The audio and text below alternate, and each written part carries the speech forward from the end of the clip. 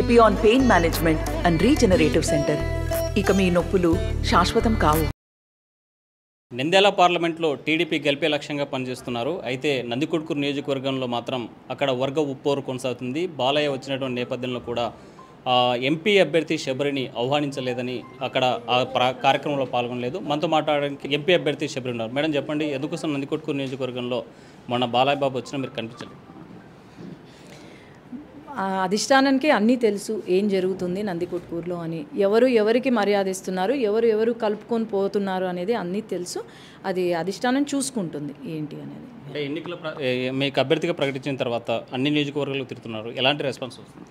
Response అయితే చాలా బాగుంది. ఎందుకంటే ఇప్పుడు వైసీపీ ప్రభుత్వం ఏదైతే ఉందో ఈ ఐదు సంవత్సరాల కాలంలో ఎంతవరకు పీపుల్స్ ఫ్రెండ్లీ గవర్నమెంట్ అనేది అందరూ చెప్తున్నారు.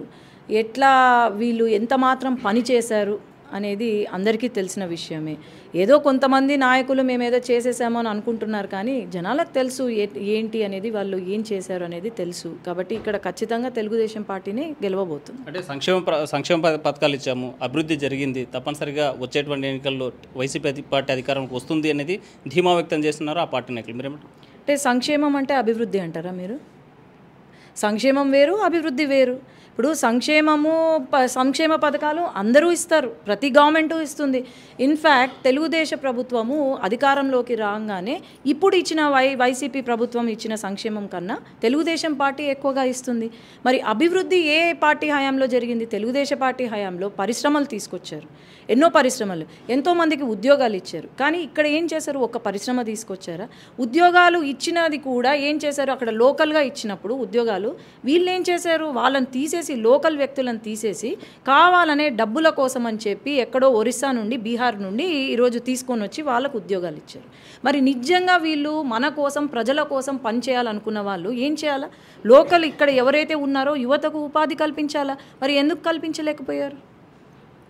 మరి దీని అభివృద్ధి అంటారు?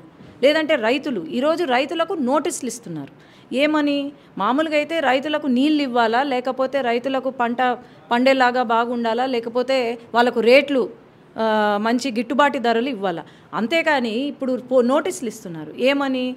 ఒకవేళ కనుక మీరు పంటలు వేసుకుంటే మిమ్మల్ని అరెస్ట్ చేయాల్సి వస్తుంది అని. ఎందుకు ఈ పరిస్థితి ఉంది? మరి రైతులను వీళ్ళు ఇలా నోటీసులు పంపిస్తుంటే దీన్ని అభివృద్ధి అంటారా? లేకపోతే దీన్ని సంక్షేమం అంటారా? ఈరోజు దోన్ ఉదాహరణకు దోన్ ఎక్కడా కూడా చుక్క నీరు లేదు తాగడానికి నీళ్ళు లేవు. నేను వెళ్ళినప్పుడు అంతా ఒకటే అంటున్నారు. కోట్ల సుజాతమ్మ గారు చేసిన ఏదైతే డెవలప్మెంట్ కానీ మాకు ఏదైతే మేలు చేశారో అది లాంగ్ టర్మ్. చే ఇప్పుడు ఇచ్చిన రోడ్లు కూడా అప్పుడు సుజాతమ్మ వేసిన రోడ్లే అని అంటున్నారు. తర్వాత నీళ్ళు అప్పుడు వేసిన బోర్లు ఇప్పటికి పనిచేస్తున్నాయమ్మా.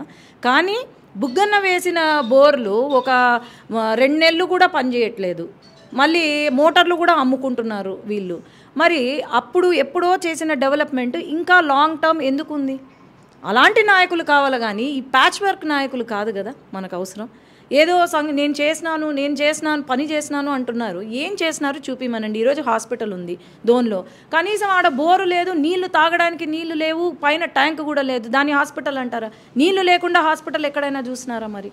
ఇది ఊరికే బయట సోషల్ మీడియాలో ఆడుతున్న నాటకాలు సోషల్ మీడియాలో ప్రొజెక్ట్ చేస్తుంది తప్ప ఇక్కడ లాంగ్ స్టాండింగ్ డెవలప్మెంట్ అయితే ఏమీ చేయలేదు దోన్లో.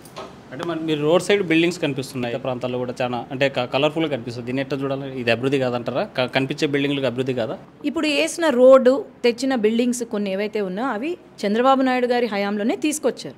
కేవలం వాళ్ళు చేసింది ఏంటంటే డెకరేషన్ చేసి దానిలో పెయింట్లు వేశారు తప్ప ఇంకా వేరేది ఏమీ లేదు ఇక్కడ సంక్షేమం లేకపోతే అభివృద్ధి. అంతే తప్ప ఏదో మేమేదో ఒక బిల్డింగ్ చూపించి నేనే కట్టించినాను అంటే ఆయన సొంత డబ్బులు ఏమన్నా పెట్టాడా? లేదు కదా? సొంత డబ్బులు ఏమన్నా పెడితే అప్పుడు మేము క్లాపులు కొడతాం మేమే క్లాపులు కొడతాం జై బుగ్గన్న అంటాం కానీ సొంత డబ్బులతో ఏమన్నా చేశాడా?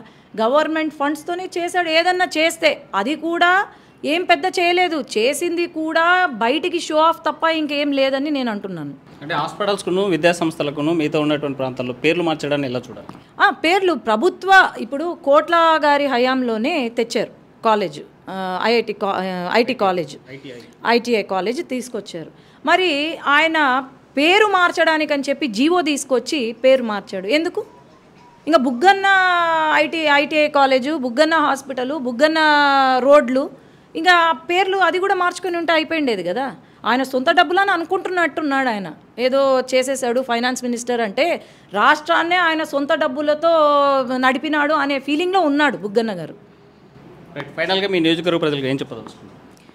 పార్లమెంట్లో అయితే మేము గెలవబోతున్నాము ఖచ్చితంగా. ఏడు నియోజకవర్గాలు గెలవబోతున్నాము. ఈరోజు గమనిస్తే ఈవెన్ జగన్మోహన్ రెడ్డి గారు కూడా ప్రజల్లోకి రావట్లేదు. వైసీపీ నాయకులు కూడా ప్రజల్లో ప్రచారం చేయట్లేదు. ఎందుకంటే భయం. ప్రజలు ఎక్కడ కొడతారు వాళ్ళను ఎక్కడ దాడులు జరుగుతాయి మా పైన అని భయపడుతున్నారు. అందుకే వాళ్ళు బయటికి కూడా రావట్లేదు. అది వాళ్ళకు తెలుసు. కాబట్టి ఖచ్చితంగా మేము నాయకులము ఎవరైతే ఈ ఏడు నియోజకవర్గాల్లో ఉన్నారో వీళ్ళ లాంటి నాయకులు అయితే కాదు. మేము న్యాయం కోసం పోరాడే వాళ్ళము లేకపోతే ప్రజా సంక్షేమం కోసం మేము ఉండే నాయకులము అది అందరికీ తెలిసిన విషయమే. కాబట్టి ఈసారి ప్రజలు మమ్మల్నే నమ్ముతారు అని చెప్పి మళ్ళీ మోసపోరు అని చెప్పి అయితే నేను అనుకుంటున్నాను. రైట్ అభివృద్ధి పేరుతో రంగులు మార్చడం పేర్లు మార్చడం అభివృద్ధి కాదు. అయితే అభివృద్ధి నిజంగా జరగాలంటే ఈ రా ఈ జిల్లాలో ఈ నియోజకవర్గ నంద్యాల పార్లమెంటు అనేక సంక్షేమ పథకాలతో పాటు అభివృద్ధి కార్యక్రమాలు చేపట్టడానికి ప్రాజెక్టులు త- సాగునీటి ప్రాజెక్టులు తీసుకురావాలంటున్నారు శబరి. వీడియో జర్నలిస్ట్ చంద్రశేఖర్తో హుసేన్ ఆర్టీవీ కర్నూలు. మరిన్ని వీడియోస్ కోసం ఛానల్ సబ్స్క్రైబ్ చేయండి. లేటెస్ట్ అప్డేట్స్ కోసం వాట్సాప్ ఛానల్ ఫాలో చేయండి. అండ్ లింక్ డిస్క్రిప్షన్లో ఉంది.